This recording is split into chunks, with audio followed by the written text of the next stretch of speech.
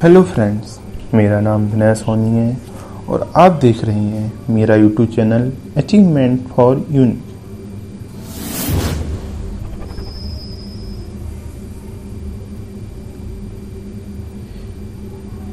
video देखने से पहले आप हमारे यूट्यूब चैनल को सब्सक्राइब ज़रूर कर लें और बराबर में आने वाली बेल आइकन को दबा दें, जिससे कि मेरी आने वाली वीडियो की नोटिफिकेशन आपको टाइम पर मिलती है तो आइए आज की वीडियो स्टार्ट करते हैं। सामान्यता विभिन्न परीक्षाओं में राजस्थान के राज के प्रतीकों से संबंधित अन्य क्वेश्चन को पूछा जाता है। आज हम इसी वीडियो में राजस्थान के राज के प्रतीकों के बारे में जानेंगे। तो आइए देखते हैं।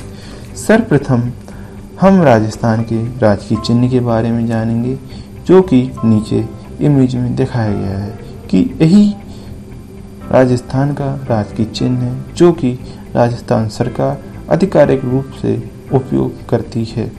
भारत के राष्ट्रीय प्रतीक का उपयोग करता है राजस्थान अपने राजकीय चिन्ह के रूप में।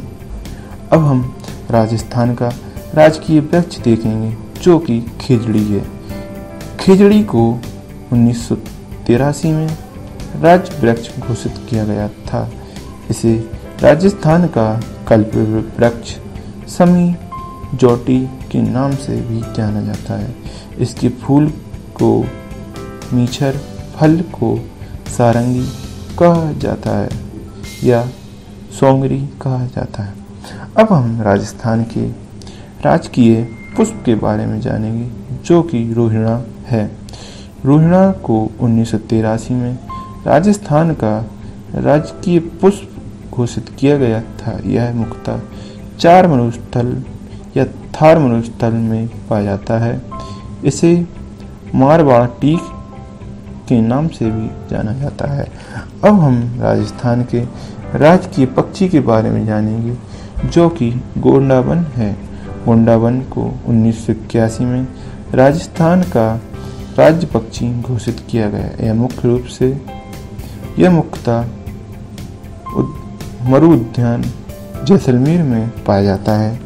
जैसलमेर की सेवन घास इसके लिए उपयुक्त है। यह सोहन चिड़िया तथा शर्मिला पक्षी के नाम से भी जाना जाता है। अब हम राजस्थान के राजकीय पक्षी के बारे में जान लिए। अब हम राजस्थानी राजकीय पशु के बारे में जानेंगे। जो कि ऊँट है। चिंकारा को उन्नीस सॉरी उन्नीस सौ इक्यासी में राज्य पशु घोषित किया गया था। इसे छोटा हिरन के नाम से भी जाना जाता है। रेगिस्तान की जहाज़ कहे जाने वाले ऊँट को 19 सितंबर 2004 को राज्य पशु घोषित किया गया। अब हम राजस्थान के राजकीय नृत्य के बारे में जानेंगे, जो कि घूमर है। अब हम राजस्थान के राजकीय खेल के बारे में जानेंगे जो कि बास्केटबॉल है। अब हम राजस्थान के राजकीय शास्त्रीय नृत्य के बारे में जानेंगे जो कि कथक है। कथक उत्तरी भारत का प्रमुख नृत्य है। कथक का भारत के प्रमुख घराना लखनऊ से संबंधित है। कथक का राजस्थान में प्रमुख घराना जयपुर है। कथक के जन्मदाता भानुजी महाराज को माना जाता है।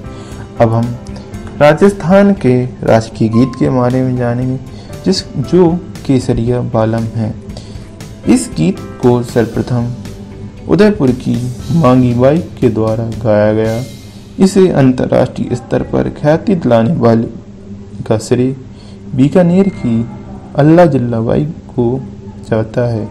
अल्लाह जिल्लाबाई को राजस्थान की मरुक कोलिका या कोयलिका कहा जाता है। अब हम राजस्थान की बारे में अनेक जानकारी की देखते हुए आगे देखते हैं। यह गीत माड़ गायकी शैली में गाया जाता है। माड़ गायकी के नाम से निम्नलिखित हैं, जैसे कि स्वर्गीय हाजन, अल्लाह जल्लाबाई, स्वर्गीय गौरी देवी मोंगी बाई गौरी देवी आदि हैं। अगर फ्रेंड्स आपको मेरी वीडियो अच्छी लगी हो तो वीडियो को लाइक करें और वीडियो से रिलेटेड कोई भी क्वेश्चन हो तो नीचे कमेंट करें और मेरी वीडियो को शेयर करें और साथ ही मेरे चैनल को सब्सक्राइब करें। Thank you for watching my video